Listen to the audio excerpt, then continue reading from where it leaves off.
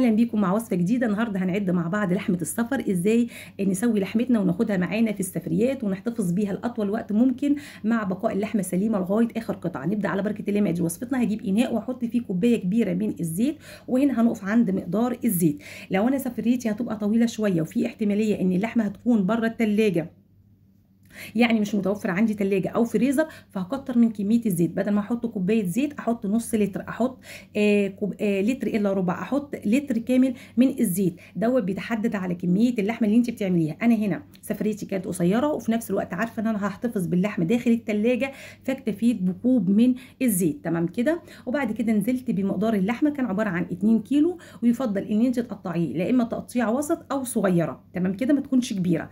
اللحمة هنا هتاخد لون على الوجه دوت وهقلبها على الوجه التاني تاخد لون يعني بنشوحها تشويحة كده جميلة.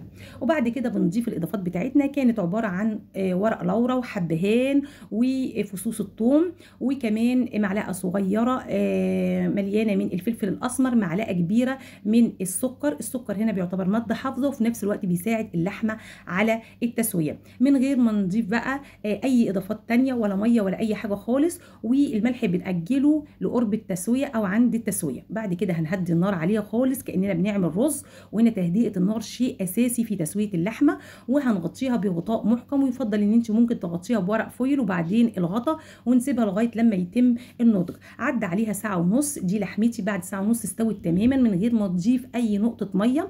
هضيف بقى معلقة كبيرة من الملح الأبيض وهنقلبها كويس مع بعضها وهقفل النار عليها وهنسيبها تهدى خالص وبعد كده نعبيها في برطمانات بلاستيك أو معدن بعيد عن الإزاز لأن الإزاز قابل إن هو يتكسر وبتضيفي المادة الدهنية اللي أنت سويتيها فيها اللي هو الزيت دوت تصب بيه بعد ما تضيفيه في البرطمانات أو في العلب وبكده نكون عملنا أحلى أحلى لحمة سفر دي الوصفة المعتمدة عندي في جميع سفرياتي. يا رب كل وصفاتي تنال إعجابكم.